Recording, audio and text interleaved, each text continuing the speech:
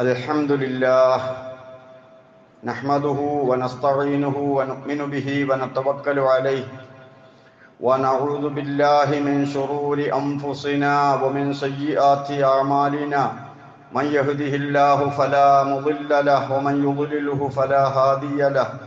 وأشهد أن لا إله إلا الله وحده لا شريك له. وأشهد أن محمدا عبده ورسوله. أرسله بالهدى ودين الحق ليظهره على الدين كله ولو كره المشركون. اللهم صل على محمد وعلى آل محمد كما صليت على إبراهيم وعلى آل إبراهيم إنك حميد مجيد. اللهم بارك على محمد وعلى آل محمد كما باركت على إبراهيم وعلى آل إبراهيم إنك حميد مجيد.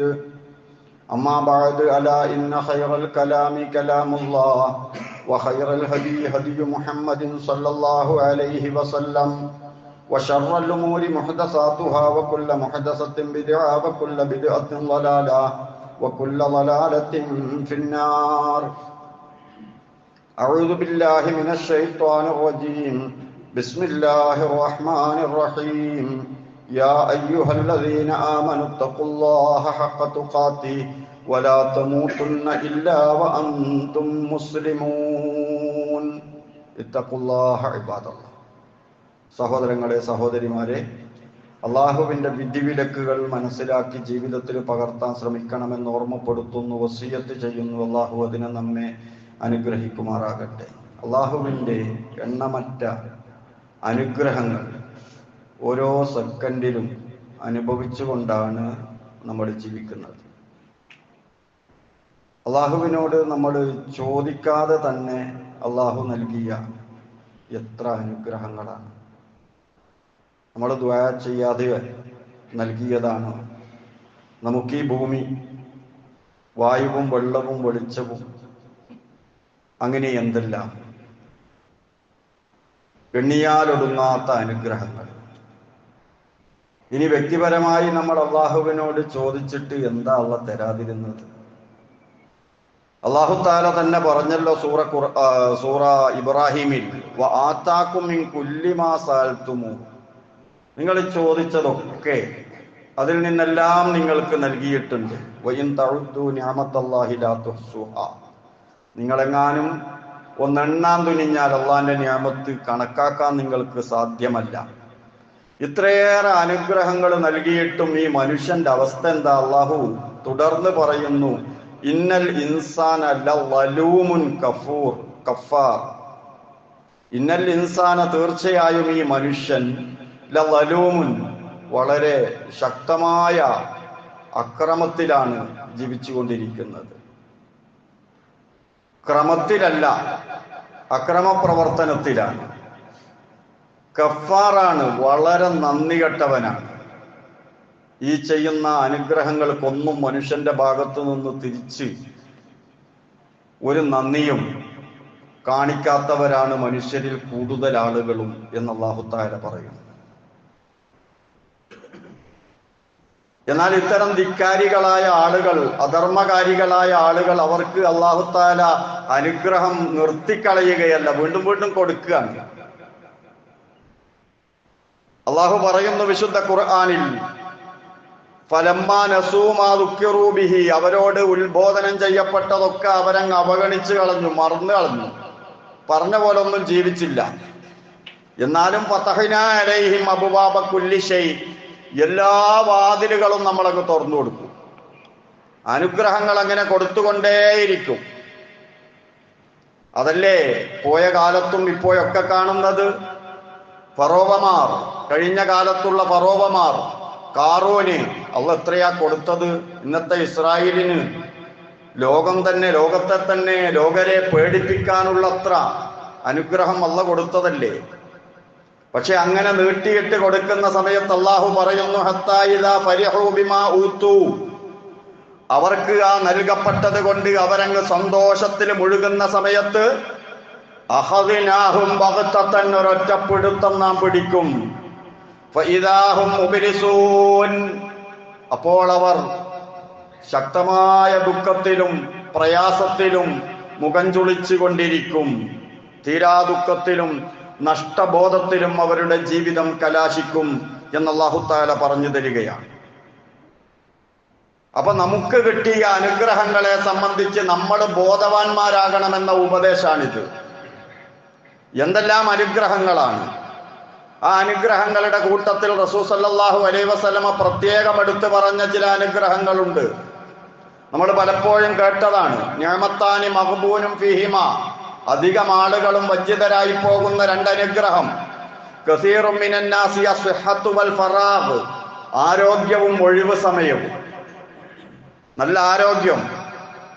എന്ന് പറഞ്ഞാൽ എത്ര കാലമായി കണ്ണുകൊണ്ട് കാണുന്നു നമ്മുടെ കാഴ്ച ശക്തി വല്ലാത്തൊരു അനുഗ്രഹമാണ് അള്ളാഹ് അത് നിലനിർത്തി തന്നു. നമ്മൾ ബാറ്ററി മാറ്റിയിട്ടില്ല. അതിങ്ങനെ പ്രവർത്തിച്ചുകൊണ്ടിരിക്കുകയാണ്. വലിയ റിപ്പയറൊന്നും ആവശ്യമായി വന്നിട്ടില്ല. വർഷത്രയായി ഇതുകൊണ്ട് കാണുന്നു. അതുപോലെ തന്നെ നമ്മൾ കേൾക്കുന്നു. ദൈനംദിനം നമ്മുടെ രക്തം ശുദ്ധീകരിക്കുന്ന അവയവങ്ങൾ കിഡ്നി പ്രവർത്തിക്കുകയാണ്. ഹാർട്ട് മിടിച്ചുകൊണ്ടേയിരിക്കുകയാണ്. ഒരുപാട് ജോയിന്റുകൾ നമ്മുടെ ശരീരത്തിൽ എത്രയോ ഞാടിഞ്ഞരമ്പുകൾ. അള്ളാഹുവിന്റെ റസൂൽ പറയുന്നു കുല്ലു സുലാമ അലൈഹി സ്വതപ്പത്തും കുല്ലയവും ഓരോ കണിപ്പുകൾ ശരീരത്തിലുള്ള ജോയിന്റുകൾ അതിനൊക്കെ എല്ലാ ദിവസവും നിങ്ങൾ സ്വതക്ക കൊടുക്കണം. ഓരോ ദിവസവും എത്രയാണോ നമ്മുടെ ജോയിന്റുകൾ ഉള്ളത് അത്ര സ്വതക്ക ചെയ്യൽ നിർബന്ധമാണ് ആയി റസൂലുള്ളാഹി നമ്മെ പഠിപ്പിക്കുകയാണ്. ധനമായിട്ട് മാത്രമല്ല. റസൂലുള്ളാഹി സ്വല്ലല്ലാഹു അലൈഹി വസല്ലമ തുടർന്ന് ആ സ്വതക്കയുടെ ധാർമ്മിക പ്രവർത്തനങ്ങൾ ഇങ്ങനെ എണ്ണുകയാണ്. പരോപകാര പ്രവർത്തനങ്ങൾ പള്ളിയിലേക്ക് നമസ്കരിക്കാൻ നടക്കുന്നത് ദിക്ർ ദുആകൾ നല്ല വർത്തമാനങ്ങൾ അങ്ങനെ ഒരു മനുഷ്യന്റെ ശരീരത്തിൽ അള്ളാഹു നിക്ഷേപിച്ച ആ ജോയിന്റുകൾ എന്ന അനുഗ്രഹങ്ങൾക്ക് ധർമ്മത്തിലൂടെ ശുക്രി രേഖപ്പെടുത്തണമെന്ന് ഓരോ ദിവസവും റസൂലുള്ളാഹി സല്ലാഹു അലൈ വസല്ലമ നമ്മോട് പറഞ്ഞു തരികയാണ്. ആ അനുഗ്രഹങ്ങൾ അള്ളാഹു നമുക്ക് നൽകിയതിന് ശുക്ർ അത് നിലനിർത്തി തരുന്നതിന് ശുക്ർ. നന്ദി കെട്ടവരായി ഇത് ഈ അനുഗ്രഹങ്ങളൊന്നും അവഗണിച്ച് തള്ളിക്കളയരുത്. പല ആളുകളും ആരോഗ്യ പ്രശ്നം പറയുന്ന സമയത്ത് ഒരാരോഗ്യ പ്രശ്നവും പറയാനില്ലാത്ത എത്ര ആളുകൾ നമ്മുടെ കൂട്ടത്തിലുണ്ട്. യാതൊരുവിധ പ്രയാസവും ഇല്ല നല്ല ആരോഗ്യമുണ്ട്. രോഗങ്ങളൊന്നുമില്ല കാര്യമായ. അങ്ങനെ ജീവിച്ചു കൊണ്ടിരിക്കുകയാണ് അവരും പെടും. ഒരൊറ്റപ്പിടുത്തം അള്ളാഹുത്താല പിടിക്കും. ഒരു നന്ദിയും ഇല്ലാതെ ജീവിക്കുകയാണെങ്കിൽ നമ്മൾ കേൾക്കാറില്ലേ? ആകസ്മിക മരണം. തളർന്നു കിടന്നുപോയി കുഴഞ്ഞു വീണുപോയി ഒരുപാട് രോഗങ്ങൾ. ഇതുപോലുള്ള പലതും വരാനിരിക്കുന്ന ആളുകൾ തന്നെയാണ് നമ്മൾ.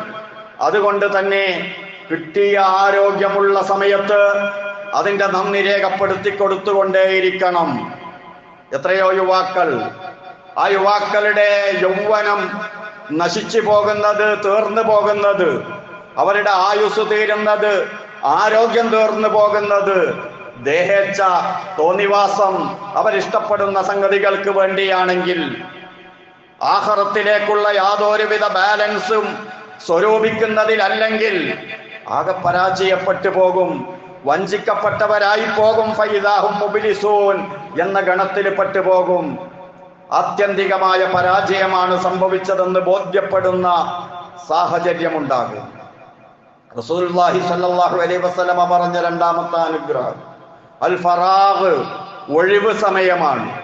അതായത് നിർബന്ധ ജോലികളൊന്നുമില്ല. അതുപോലെ മനസ്സിനെ അലട്ടുന്ന പ്രശ്നങ്ങളൊന്നുമില്ല.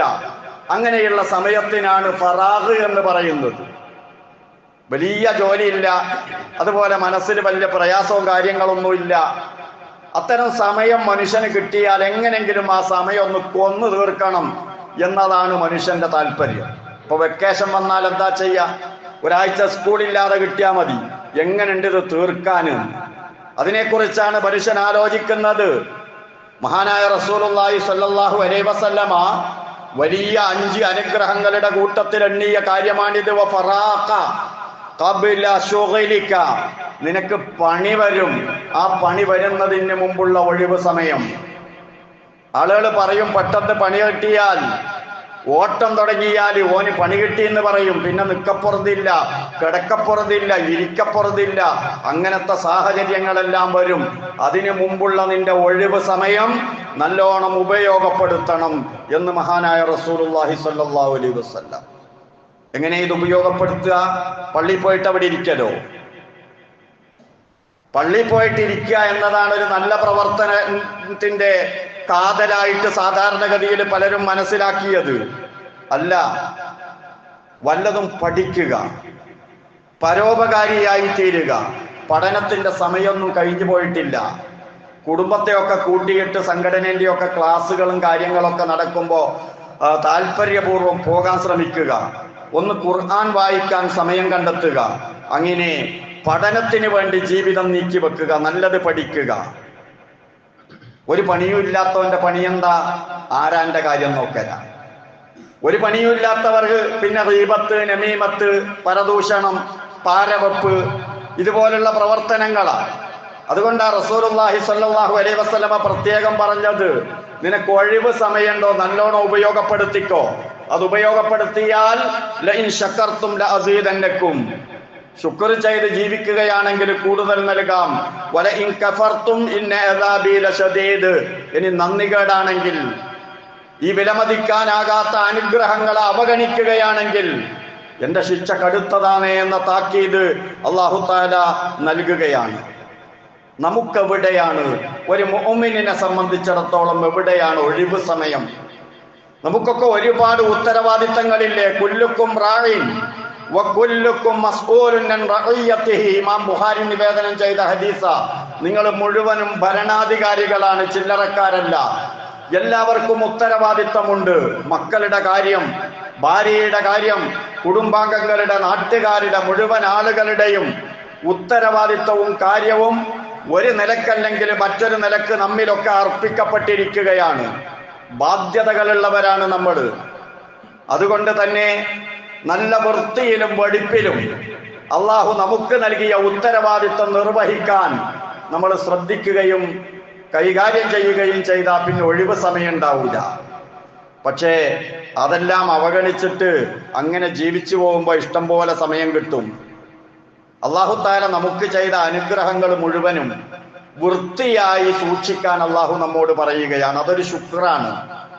അള്ളാന്റെ അനുഗ്രഹങ്ങൾക്ക് ശുക്ർ ചെയ്യുന്നതിന്റെ കൂട്ടത്തിൽ പെട്ടതാണ് അള്ള ചെയ്തതൊക്കെ നല്ല വൃത്തിയിൽ കൊണ്ട് നടക്കുക അള്ളാഹ്ക്ക് ഇഷ്ടമാണ് കാരണം അള്ളാഹു താല പരിശുദ്ധനാണ്. അള്ളാഹു പരമപരിശുദ്ധനാണ്. അള്ളാഹ് നമ്മൾ പറയാറില്ലേ? അള്ളാഹുവിന് ഒരു ന്യൂനതകളുമില്ല. എല്ലാവിധ ന്യൂനതകളിൽ നിന്നും അള്ളാഹു താല പരിശുദ്ധനാണ്. അതുകൊണ്ട് തന്നെ അവനുമായി ബന്ധപ്പെട്ടത് മുഴുവനും നല്ല വൃത്തിയിലായിരിക്കണം. അതാണ് അള്ളാഹുവിന് ഇഷ്ടം.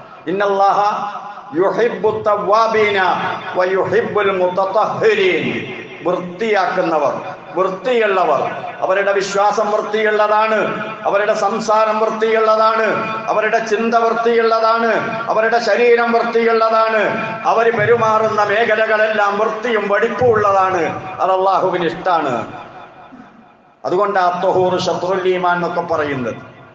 ഈമാനിന്റെ പാതിയാണ് വെടിപ്പ് വൃത്തി. നമ്മുടെ വസ്ത്രം നമ്മുടെ ശരീരം നമ്മൾ താമസിക്കുന്ന സ്ഥലം നമ്മുടെ മനസ്സ് നമ്മുടെ സംസാരം എല്ലാം വൃത്തിയുള്ളതാകണം. വീടും പരിസരവും ഒക്കെ ഇത് അള്ളാഹുവിന്റെ അനുഗ്രഹത്തിന് നന്ദി ചെ- രേഖപ്പെടുത്തുന്നതിൽ പെട്ടതാണ്.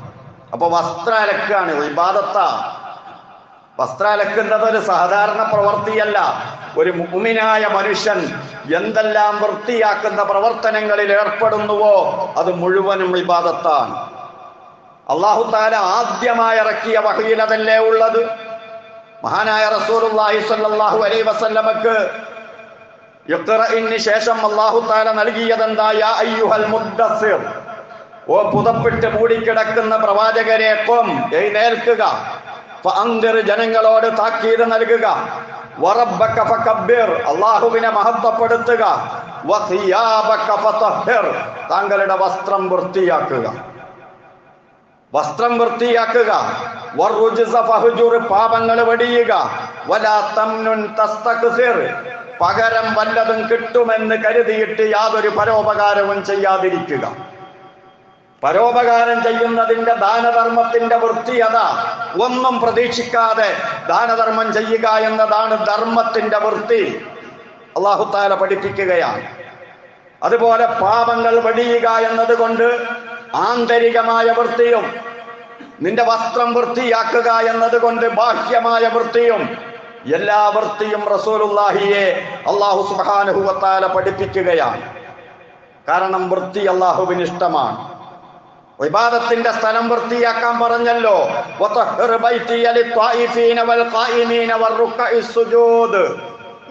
മക്കം ഫതഹ് കഅബാലയം വൃത്തിയാക്കാൻ അള്ളാഹുവിന്റെ റസൂലിനോട് അള്ളാഹു പറയുന്നു എന്റെ വീടൊന്ന് വൃത്തിയാക്കണം ആർക്ക് വേണ്ടി? അവിടെ തവാഫ് ചെയ്യാൻ വരുന്നവരുണ്ട് നിന്ന് നമസ്കരിക്കുന്നവരുണ്ട് റുക്കോഴി ചെയ്യുന്നവരും സുജൂത് ചെയ്യുന്നവരുമുണ്ട്. അവർക്ക് വേണ്ടി എന്റെ വീട് വൃത്തിയാക്കി വെക്കണം. അതിന് അതിനുള്ളിലുള്ള വിശ്വാസ വൈകല്യങ്ങൾക്ക് കാരണമായി തീർന്ന വിഗ്രഹങ്ങളും അതോടനുബന്ധിച്ച എല്ലാവിധ വൃത്തികേടുകളും ഒഴിവാക്കണം. അള്ളാഹുവിന് വൃത്തി ഇഷ്ടമാണ്. അതുകൊണ്ടല്ലേ നമസ്കരിക്കുമ്പോൾ ചെറിയ അശുദ്ധിയിൽ നിന്ന് ശുദ്ധിയാകണം. ഒരാത്മീയ ശുദ്ധി. നമ്മളൊന്നും കാണുന്നില്ല ചെറിയ അശുദ്ധി എന്ന് പറഞ്ഞിട്ട് നജസൊന്നും അല്ലല്ലോ. അവിടെയും ഒരു വൃത്തി കൈകാലുകളും മുഖവും ഒക്കെ കഴുകുകയാണ് ചെയ്യുകയാണ്. കാരണങ്ങൾ ഉണ്ടായാൽ വലിയ അശുദ്ധിക്ക് വേണ്ടി മനുഷ്യൻ കുളിക്കുകയാണ്. അങ്ങനെ ഒതു ചെയ്ത് കുളിച്ച് കുളിച്ച് ഒലു ചെയ്ത് വൃത്തിയായി അള്ളാഹുവിന്റെ മുന്നിൽ നിന്ന് നമസ്കരിക്കുമ്പോൾ ആ നമസ്കാരവും ഒരു ശുദ്ധീകരണ പ്രവർത്തനം തന്നെ. അള്ളാഹുവിന്റെ റസൂൽ പറഞ്ഞത് മസലു സ്വലവാത്തിൽ ഹംസി കമസലിൻ ഹരിൻ ജാരിൻ ഖംറിൻ അലാ ബാബി അഹദിക്കും. ഇമാം മുസ്ലിം നിവേദനം ചെയ്ത ഹദീസ വീടിന്റെ മുന്നിലൂടെ കുത്തിയൊഴുകിക്കൊണ്ടിരിക്കുന്ന വലിയൊരു പുഴ ആ പുഴയിൽ ഇറങ്ങിയിട്ട് അഞ്ച് തവണ കുളിക്കുകയാണ് നമസ്കരിക്കുന്ന മനുഷ്യൻ. അതുപോലെയാണ് നമസ്കാരം. അപ്പൊ വൃത്തിയാണ്. എല്ലാ പാപങ്ങളും ഒഴിവായി പോവുകയാണ് നമസ്കാരം കൊണ്ട്. മഹാനായ റസൂലുള്ളാഹി സ്വല്ലല്ലാഹു അലൈഹി വസല്ലമ വിസർജന മര്യാദകൾ പഠിപ്പിച്ചു. അത് കഴിഞ്ഞാൽ എങ്ങനെയാണ് ശരീരം വൃത്തിയാക്കേണ്ടത്? എവിടെയൊക്കെയാണ് വിസർജനം പാടില്ലാത്തത്? വൃത്തിയുടെ ഭാഗമായി റസൂലുള്ളാഹി പറഞ്ഞു ഇത്തക്കുല്ല ആനയിൽ ആളുകൾ ശപിക്കുന്ന ശാപകാരണങ്ങളായ രണ്ട് പ്രവർത്തനങ്ങൾ നിങ്ങൾ ഒഴിവാക്കണം. സഹാബാക്കൾ ചോദിച്ചു എന്താണ് റസൂലെ ഈ ശാപകാരണമാകുന്ന പ്രവർത്തനങ്ങൾ? യാ റസൂലല്ല അള്ളാഹുവിന്റെ റസൂലിനോട് ചോദിച്ചപ്പോ നബി സല്ലല്ലാഹു അലൈഹി വസല്ലമ പറഞ്ഞത് അല്ലദീ യതഖല്ല ഫീ ത്വരീഖിന്നാസ് ജനങ്ങൾ പോകുന്ന വഴിക്ക് മലമൂത്ര വിസർജനം ചെയ്യുന്നവൻ അല്ലെങ്കിൽ അവർ വിശ്രമിക്കുന്ന സ്ഥലത്ത്. ജനവാസം ജനങ്ങൾ കൂടുന്ന സ്ഥലത്ത് മലമൂത്ര വിസർജനം ചെയ്യാൻ പാടില്ല. ഹറാമായിട്ട് തന്നെ നിഷിദ്ധമായ പ്രവർത്തനമായിട്ട് റസൂലുള്ളാഹി പഠിപ്പിക്കുന്നു വൃത്തിയുടെ ഭാഗമായിട്ട്. നമ്മുടെ നാടിന്റെ അവസ്ഥ എന്താ? ജലസ്രോതസ്സുകളുടെ അവസ്ഥ എന്താ? വൃത്തിഹീനമാണ്. ഒരുപാട് ടൂറിസത്തിന് സാധ്യതകളുള്ള ഒരു മണ്ണിലാണ് നമ്മൾ ജീവിക്കുന്നത്. പക്ഷേ പൊതുവെ സാമൂഹികാവസ്ഥ വൃത്തിക്ക് യാതൊരു പരിഗണനയും നൽകുന്നില്ല. വിസർജനം പോലുമല്ല. മഹാനായ റസൂലുള്ളാഹി സ്വല്ലല്ലാഹു അലൈഹി വസല്ലം മദീന പള്ളിയിലേക്ക് കയറി വന്നപ്പോ ആ പടിഞ്ഞാറെ ഭാഗ ഭാഗത്തുള്ള ഭിത്തിയിൽ ആരോ കാർപ്പിച്ചു തുപ്പിയിരിക്കുന്നു. മഹാനായ റസൂലുള്ളാഹി നമ്മുടെ ആത്മീയ നേതാവ് അവിടുത്തെ തൃക്കൈ കൊണ്ടത് വൃത്തിയാക്കുകയാ. എന്നിട്ട് പറയുന്നു ഇതൊന്നും പാടില്ല. ജനങ്ങൾ കൂടുന്ന സ്ഥലത്ത് ഇത്തരം മാലിന്യങ്ങൾ പാടില്ല എന്ന് മഹാനായ റസൂലുള്ളാഹി സല്ലല്ലാഹു അലൈഹി വസല്ലമ ലോകത്തോട് വിളിച്ചു പറഞ്ഞു. ശാപകാരണമാകുന്ന ഒരു പ്രവർത്തനവും ചെയ്യ ചെയ്യാൻ പാടില്ല. ഡ്രൈവിംഗിൽ അതിൽ വൃത്തികേടുണ്ട്. വഴിയിൽ നിന്ന് മാലിന്യങ്ങൾ നീക്കുക എന്ന് പറഞ്ഞത് പണ്ടൊക്കെ ഉദാഹരണം പറയുമായിരുന്നു മുള്ളും കല്ലും. അതൊക്കെ നീക്കുക കുപ്പിച്ചില്ലുകൾ നീക്കുക. ഇന്നതല്ല തെറ്റായ പാർക്കിങ്ങുകൾ. ആളുകൾക്ക് പ്രയാസമുണ്ടാകുന്നത് ആരാണിത് ഇവിടെ കൊണ്ടുവന്ന് വെച്ചത്? അതൊരു ശാപവാക്ക. അത് ആളുകളെ കൊണ്ട് പറയിപ്പിക്കുന്ന വിധത്തിലാകരുത്. ഈ രൂപത്തിൽ ജനങ്ങൾക്ക് ഉപദ്രവകരമായ മുഴുവൻ മ്ലേച്ഛമായ പ്രവർത്തനങ്ങളും ഒഴിവാക്കണമെന്നാണ് ഇത്തരം ഹദീസുകളിലൂടെ റസൂലുള്ളാഹി സ്വല്ലല്ലാഹു അലൈഹി വസല്ലമ നമ്മെ പഠിപ്പിക്കുന്നത്. വളരെ വൃത്തിയായി ഭംഗിയായി അള്ളാഹുവിന്റെ ഞാമത്തുകൾ കൈകാര്യം ചെയ്യാൻ റസൂലുള്ളാഹി സ്വല്ലല്ലാഹു അലൈഹി വസല്ലം ഒരു നല്ല സമുദായത്തെ വാർത്തെടുക്കുകയുണ്ടായി വെറും ഇരുപത്തിമൂന്ന് കൊല്ലക്കാലത്തെ പ്രവർത്തനം കൊണ്ട്. നമ്മൾ വെറും കർമ്മങ്ങളിൽ ഒതുങ്ങി നിൽക്കുന്ന ചില ആചാരങ്ങളിൽ ഒതുങ്ങി നിൽക്കുന്ന എന്തോ ഒന്നാണ് മതമെന്ന് ആളുകൾ തെറ്റിദ്ധരിച്ചു നിൽക്കുന്ന കാലഘട്ടത്തിൽ വളരെ കൃത്യമായി ഇസ്ലാമിന്റെ ആ വിശാലമായ കാഴ്ചപ്പാടുകൾ നിരന്തരമായി ആളുകളിലേക്ക് എത്തിച്ചുകൊണ്ടിരിക്കണം. നമ്മുടെ ആരാധ്യനായ അള്ളാഹുവിന് വൃത്തി ഇഷ്ടമാണെന്നത് നമ്മുടെ ഓരോ പ്രവർത്തനങ്ങളിലും തെളിഞ്ഞു കാണണം. ആ രൂപത്തിൽ ജീവിക്കുന്ന മുഗ്മിനീങ്ങളിൽ അള്ളാഹു നമ്മെ ഉൾപ്പെടുത്തി തരുമാറാകട്ടെ. അഖൂലു ഖൗലി ഹാദാ വഅസ്തഗ്ഫിറുല്ലാഹ അല്ലദീമ ലീ വലക്കും മുസ്ലിമീന വൽ മുഅ്മിനീന ഇന്നഹു ഹുവൽ റഹീം.